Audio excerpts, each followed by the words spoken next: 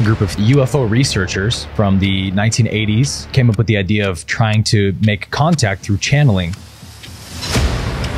And so, after I think the better part of a decade, uh, they finally made contact with an entity that identified itself as Ra from the planet Venus from a few billion years ago.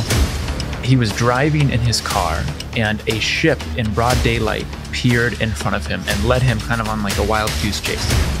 This document tells you all about the pyramids, their purposes, their functions, how they built them, why they built them, having to do with extraterrestrial crafts. But my question was, why the hell are you coming to me? Yeah, why Jason? Who am I? You're the chosen one. I'm not the chosen. You are the one.